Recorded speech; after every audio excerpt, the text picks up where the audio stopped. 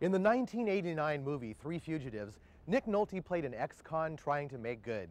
After being released from McNeil Island's Correction Center, he walked these same steps along here to meet his parole officer, played by James Earl Jones.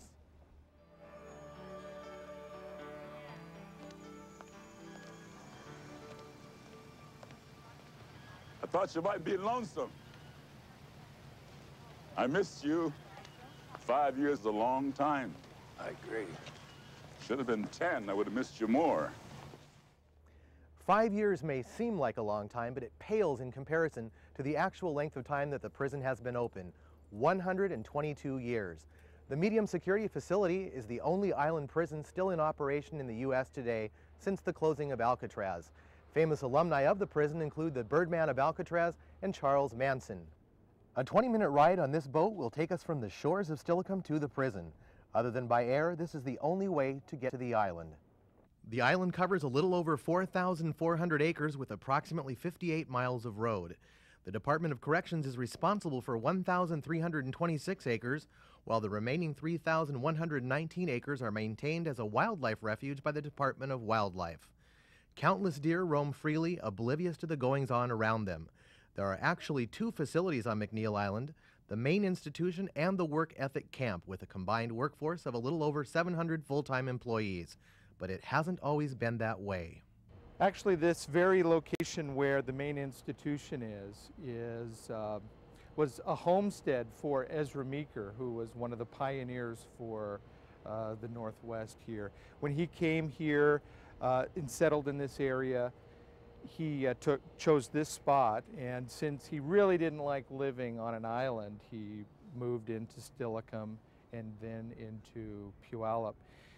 Uh, in the mid 1800s, the federal government was looking for a territorial prison to uh, locate somewhere in the Puget Sound area, and they finally decided on this very location. And in 1875, McNeil Island Penitentiary opened up, and um, for well over a hundred years, it was a federal, a federal prison. Uh, lots of growth and, and changes uh, took place over those years.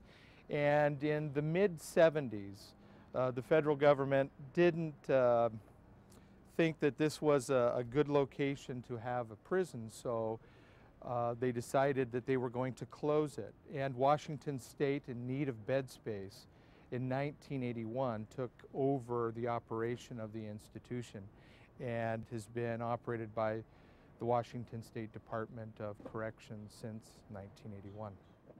Today, the main institution houses up to 1,249 medium and long term minimum custody inmates in five living units.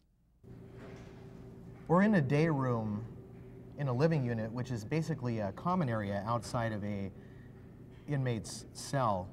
Rick, take me through the day-to-day activities that an inmate would go through. Basically, the day begins at 5.30 in the morning when breakfast is served. And then throughout the day, there's a variety of activities that inmates can be um, involved with. Uh, this is a programming institution, and that means that inmates are supposed to be either working or in school, getting working toward their GED. And uh, lights out at about 11.30 at night. Now when you say working, what kinds of jobs, if you want to use that word, do they have here? The jobs range from uh, being a porter, cleaning, uh, like janitorial services, um, also the kitchen, uh, grounds crews, maintenance, as well as some correctional industries which would be like uh, the laundry, and we have a furniture factory here that they could possibly have the opportunity to work in. Now, on, on the real world outside, minimum wage is over $5 an hour currently, and I understand that the pay in here is not quite so good. 26 cents an hour is the average uh, wage for an inmate. Aside from the work and the programming, are there recreational opportunities for the inmates? There's, there's a, a number of different uh, recreation uh, activities. That could be anywhere from uh, the yard, getting physical activity, uh, playing baseball.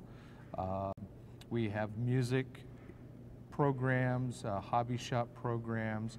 If an inmate wants to participate in the music program, it costs $5 a quarter, and that goes, it's the same with the, uh, the hobby shop, $5 per quarter to do that. There's also uh, library, law library, uh, a lot of different activities for inmates to do a variety of things during their leisure time. How about church? How does that fall into this? Can they go to any kind of religious services here if they'd like to? Sure. There are uh, a number of different religious groups that come in and put on a program in the chapel. Um, and it's each evening there's uh, a variety of different programs that, that inmates could possibly uh, participate in if they'd like to. Are the inmates allowed to have visitors?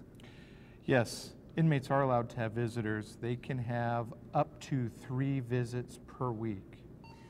I understand there's volunteer opportunities here. People in the community, I think you have somewhere around 700 people that currently are involved in the program. Right. We have a very good volunteer program here, a wide variety of individuals from the community coming in and doing uh, a number of different uh, services and programs here. Uh, religious programs, 12-step, um, educational where they are tutors, and there's a, a real active volunteer force that we have here. This is an actual room where an inmate would serve out his sentence along with a roommate. And as you can see, there really is not a whole lot to this. There's a bed for himself, a bed for the roommate, two desks, and two cabinets to put your clothes in. Now, the inmates serve out their terms in quite a different way on the other side of the island at the Work Ethic Camp. The North Complex houses both long-term minimum security inmates as well as inmates sentenced to the Work Ethic Camp. The Work Ethic Camp houses up to 250 men and 35 women. Housing dormitory style and all inmates work on the island at jobs that support island operations. Uh, the Work Ethic Camp is a four-month program where we teach inmates work ethic skills.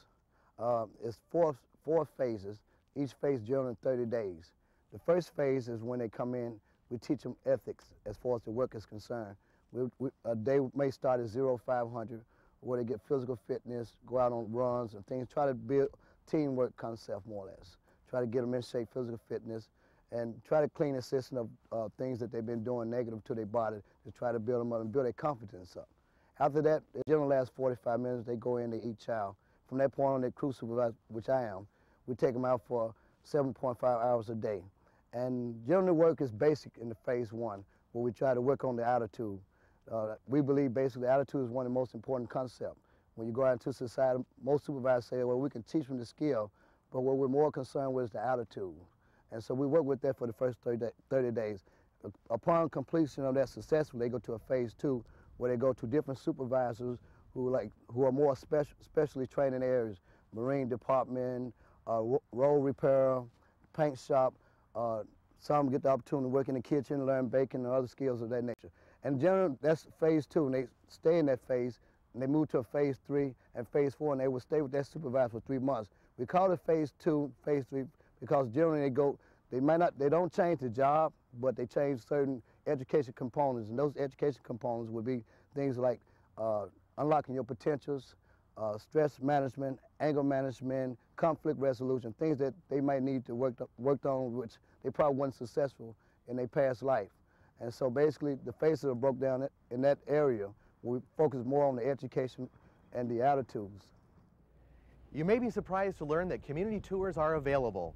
Currently, they are being held the third Wednesday and Thursday of each month. You must be at least 18 years of age, be able to pass a background check, and be able to walk long distances throughout the main institution.